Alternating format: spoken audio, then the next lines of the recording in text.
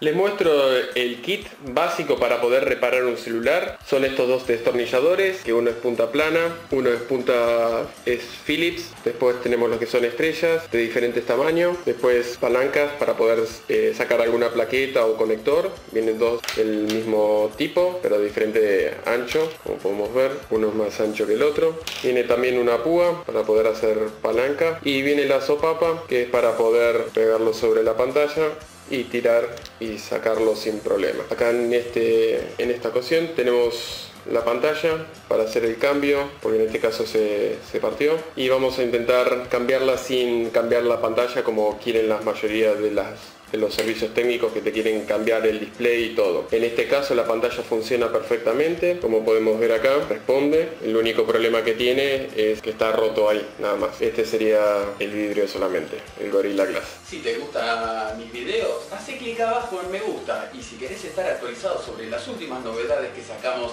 semanalmente, hace clic abajo en suscribir y nos vemos hasta la próxima. Chao.